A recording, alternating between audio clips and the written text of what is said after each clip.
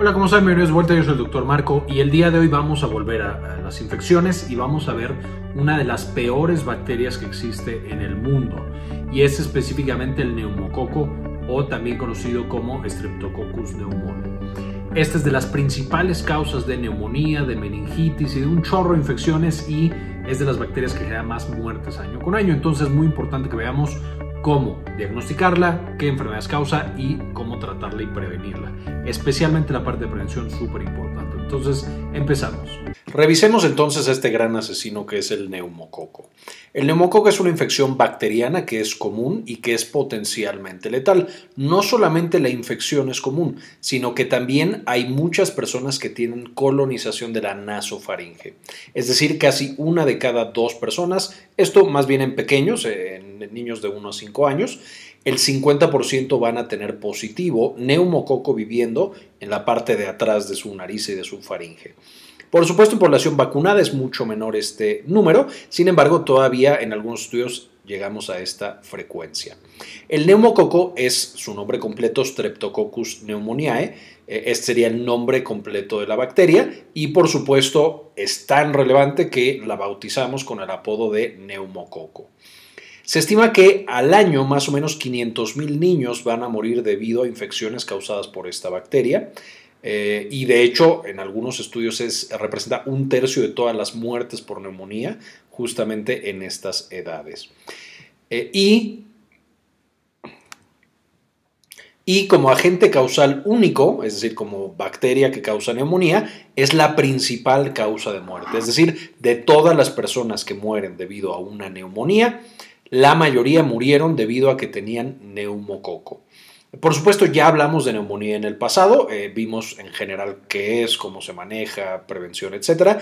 Les voy a dejar el enlace aquí arriba para que puedan consultar ese video, pero ahora estamos viendo uno de estos agentes causales, de hecho el más frecuente y el más importante en cuanto a la causa de muerte.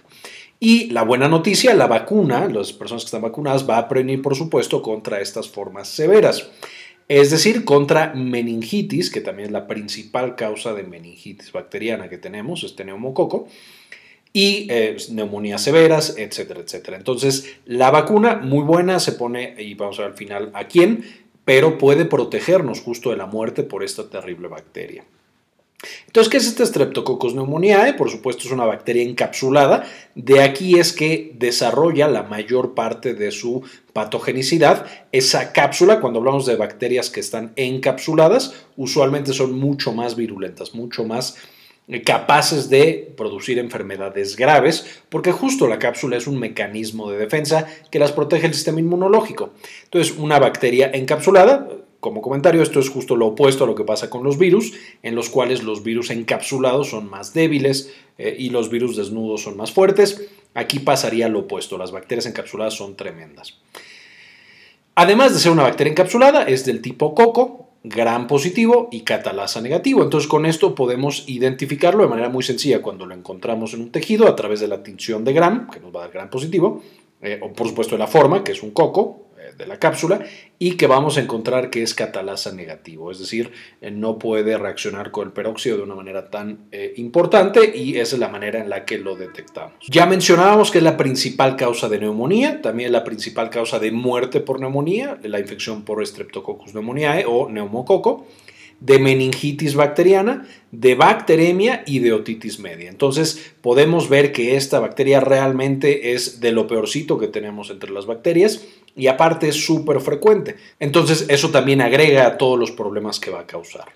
Además de estas, que son la principal causa, va a ser también una causa frecuente de sinusitis, artritis séptica, que es por supuesto la infección por bacterias de una articulación, osteomielitis, que es lo mismo por infección de hueso, peritonitis, que es infección del peritoneo, y endocarditis, entre otras. Endocarditis siendo la infección de la parte interna del corazón y las válvulas del corazón. Y por supuesto, si ya vimos que tenemos infecciones desde otitis hasta sepsis, por supuesto tenemos un rango bastante amplio de enfermedades, siendo de las más leves cosas como otitis, inflamación del oído, eh, mientras que las más severas sepsis, meningitis, neumonía, etc. Por supuesto, este rango vamos a tener a personas diferentes, usualmente en el rango leve, pues son personas ya entre los 5 años y los 65 años, es decir, en general jóvenes sin factores de riesgo, y vamos a tener de este otro lado las infecciones severas, Pacientes menos de 5 años, más de 65 años. Por supuesto, aquí es donde encontramos a los pacientes no vacunados o con esquema incompleto de vacunación contra el neumococo y también con otros factores de riesgo. A lo mejor incluso vacunados, pero eh, un paciente con cáncer, un paciente post-trasplantado, un paciente al que le quitamos el vaso, que es un factor de riesgo muy importante para todas estas bacterias encapsuladas. Entonces, aquí los vamos a encontrar en una enfermedad mucho más severa. ¿A quién le da? Los factores de riesgo, ya lo estábamos platicando, menos de 5 años es la mayoría de las personas que se infectan y la mayoría de las muertes, especialmente en países en vías de desarrollo o con ingresos medios o bajos.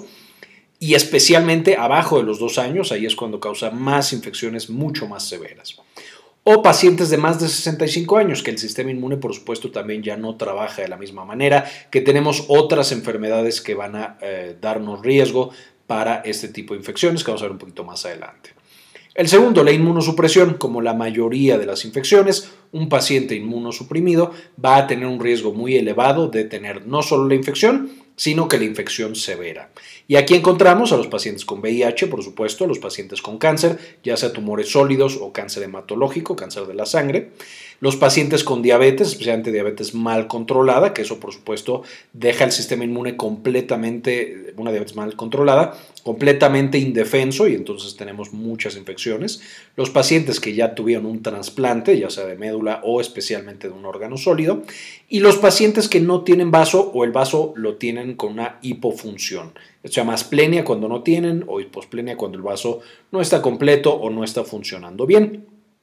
Esto es muy importante y a lo mejor no lo habíamos mencionado demasiado antes, pero el vaso es un órgano del sistema inmunológico y va a ser de los principales que se encarga de manejar las infecciones difíciles por bacterias encapsuladas.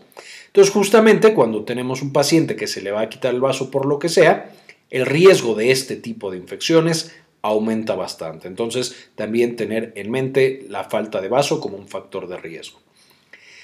Vamos a tener también enfermedades pulmonares, por supuesto, aumentan el riesgo de tener la infección y de tener la infección severa, y aquí las principales son asma y EPOC, aunque podemos tener algunas otras. Y de hecho, los pacientes con EPOC van a tener frecuentemente exacerbaciones, es decir, vuelve la enfermedad de manera severa, el EPOC, por infecciones con neumococo y muchas veces progresan a neumonía y tenemos un chorro de complicaciones.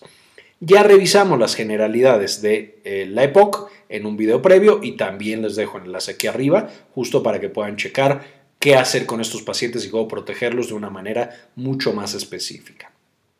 Ya quedamos que están en riesgo los pacientes que tienen esquema de vacunación incompleto o que no tienen ninguna vacuna, especialmente, por supuesto, en los eh, años de riesgo o cuando tenemos las enfermedades asociadas de riesgo. Y finalmente en invierno. Es una infección que es más frecuente y más prevalente en invierno y ahí es cuando más cuidado debemos de tener. Ahora, en cuanto a la patogenicidad, no va a meter mucho. Ya mencionamos que la cápsula es probablemente el mecanismo más poderoso que tiene el neumococo para escapar del sistema inmune. De hecho, la cápsula hace que los macrófagos no puedan comérselo, eh, lo hace un poco resistente al complemento, además de tener otros factores que bloquean a las proteínas del complemento. Tiene proteínas de adhesión celular que por supuesto hacen que se pegue a nuestras células. Tiene toxinas, tiene todo, todo el arsenal que se puedan imaginar y que tengan otras, eh, otras bacterias.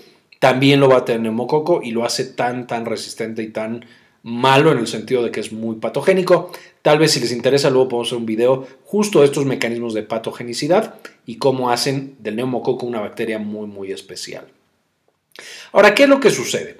Ya quedamos que un porcentaje elevado de personas va a tener colonización, es decir, la nasofaringe, que es la parte de atrás de la nariz y de la boca, vamos a tener que el neumococo está ahí, colonizado, ya está viviendo ahí tranquilamente sin que nadie lo moleste. Y de estas personas, casi el 50% que lo tienen ahí, pueden suceder dos cosas, además de que se lo pueden transmitir a otra persona a través de lo que hablan, del contacto y demás, vamos a tener dentro del cuerpo de esa misma persona extensión desde la nasofaringe, que es el primer mecanismo de transmisión o de expansión, digamos, de la infección, o podemos tener propagación hemática. Este es el segundo mecanismo. Por supuesto, la extensión de nasofaringe se va a dar a los sitios que estén más cerca o que estén más fácilmente comunicados. Entonces, ahorita lo vamos a ver. Y los de propagación hemática pueden darse básicamente a cualquier parte del cuerpo. Entonces, extensión nasofaringe, usualmente como se ve, vamos a tener que da conjuntivitis. De la nasofaringe se pasa la bacteria a la conjuntiva a través literal de que se va moviendo, realmente no se mueve, pero eh, a través de los cilios y muchos procesos se mueve hasta el ojo. O literal, tenemos en las manos, tosemos, estornudamos, nos limpiamos la cara, nos tocamos los ojos y ahora tenemos conjuntivitis por neumococo. Podemos tener también otitis media, infección del oído medio, por el mismo mecanismo. La nariz está conectada al oído a través de una tubito, o sea, trompa de eustaquio. Por ahí también puede pasar esta bacteria tan terrible. Podemos tener sinusitis de la nasofaringe, simplemente se va a los senos paranasales y entonces los infecta y tenemos sinusitis. De hecho, es de las principales causas de sinusitis que vamos a tener. Puede causar de pronto infección de garganta, aunque no es tan frecuente. Y finalmente, neumonía y, como mencionábamos, exacerbación de EPOC, incluso ataques de asma, etc. Entonces, esto es literal de la nasofaringe baja a través de la mucosa, secreción y demás, hasta el pulmón y genera una infección severa. Por otro lado, tengo la propagación hemática, y eso es, ok, está en la nasofaringe, pero de ahí a través de la sangre, pues puede llegar a cualquier tejido del cuerpo. Y entonces, lo más frecuente es, ok, llegar a meninge y causar meningitis, Aquí un poco la controversia existe de, bueno, si de nasofaringe no puede llegar directamente a meninges, pero vamos a dejarlo en propagación hemática. Eh, puede llegar a hueso y articulaciones, causando osteomielitis y artritis séptica. Puede llegar al corazón, especialmente a las válvulas, aunque también a otras partes del corazón, causando endocarditis. Puede llegar al peritoneo e infectarlo, causando peritonitis y finalmente, si se propaga suficiente ya tenemos bacteremia, es decir, bacterias en la sangre, puede causar sepsis.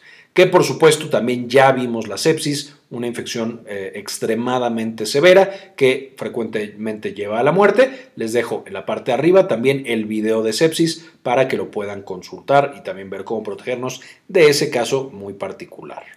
Ahora, ¿cómo se diagnostica? Por supuesto, tenemos que encontrar la bacteria en el tejido que nosotros creemos que está afectando. Entonces, de aquí, pues dependiendo de la infección que estemos hablando, una otitis, una sinusitis o una neumonía y sepsis será muy, muy diferente. Podemos obtener sangre y hacer cultivos de sangre para ver que crezca la bacteria. Aquí tenemos, por ejemplo, a neumococo eh, creciendo en un agar sangre Justo se ve eh, debido a la hemólisis que tiene, que es una hemólisis alfa, que después hablaremos de eso en otros videos, pero tiene ese color un poco verdecito eh, en este tipo de placas.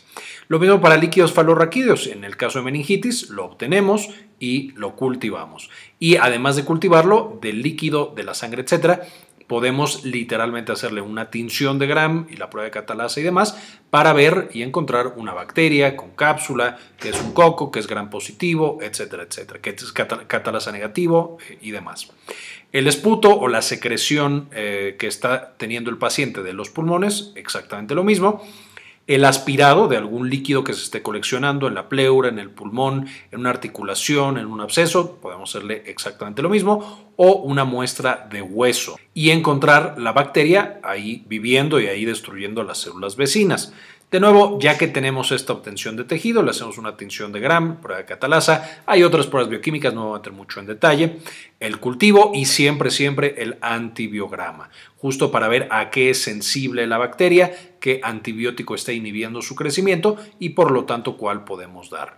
Finalmente vamos a tener muchos otros estudios, de nuevo dependiendo dónde es que esté esta infección, desde estudios de imagen, estudios de laboratorio para el estado del paciente. No me estoy metiendo mucho en el detalle porque de nuevo cada una de esas infecciones es diferente y requiere diferentes estudios. Pero recordar que los estudios de imagen y de laboratorio son importantes en el abordaje de la mayoría de las infecciones por el neumococo. Ahora, hablando de prevención, por supuesto, lo más importante va a ser la vacunación y para esto tenemos dos tipos de vacunas. La neumocóxica conjugada, eh, que se da a los 2 y a los 4 meses de vida aquí en México, ahí está en la cartilla, y es la 13 valente, es decir, cubre contra 13 de los serotipos o, de los genotipos más frecuentes en esta población de pequeñitos y es la que mejor despierta la respuesta inmunológica. El, eh, eh, nosotros ponerle esta vacuna a las personas ha tenido un impacto inmenso. De hecho, aquí podemos ver un estudio en el cual se tiene la cantidad de personas por 100.000 que tenían la infección. Esto era en eh, niños desde menos de un año hasta tres años. Las tasas que había de infecciones y específicamente de infecciones por neumococo y por supuesto tenemos niveles bastante altos, especialmente en niños menos de un año y que tienen un año de edad, pero que se mantenían altas incluso a los dos años y un poquito a los tres. Una vez que se introduce la vacuna, que en este caso era la vacuna 7 valente, ahora ya tenemos 13 valente, entonces tiene un mejor efecto, pero por supuesto los siguientes años decrementa o decrece de manera muy importante la tasa de infecciones en la mayoría de las poblaciones de alto riesgo. No desaparece la infección, pero sí disminuye de una manera muy muy importante, de básicamente 230, 240 a esencialmente estar por debajo o cerca de 50, es decir, eh, casi un tercio fue lo que decreció. Lo mismo podemos encontrar en adultos mayores, que ya podemos darles otros tipos de vacunas, como la neumocóxica polisacárida. Esta se da a partir de los 65 años, de nuevo, esto es la, la cartilla aquí en México es la 23 valente, es decir, cubre contra 23 tipos diferentes de neumococo, que son los más frecuentes que causan enfermedad severa en adultos mayores. Por supuesto, para diferentes países es posible que encuentren diferentes edades a las cuales se aplica o que aplican diferente vacuna. Entonces, esto solo es un ejemplo de lo que vivimos aquí en México. Cada país tendrá una vacunación diferente y habrá que investigar cuál es la local. Otras estrategias, evitar el tabaquismo, porque el tabaquismo aumenta el riesgo de tener infección severa. Cuidado de epidemias, esto especialmente en guarderías. La meningitis puede llegar a ser epidémica en estos niños pequeños y de pronto tenemos guarderías o centros en los que se cuidan niños de estas edades tan pequeñitas. Un niño empieza con meningitis y de pronto ya tenemos un chorro de niños que están infectados y que tienen problemas severos. Entonces, mucho cuidado con estas epidemias, hay que estar muy pendientes.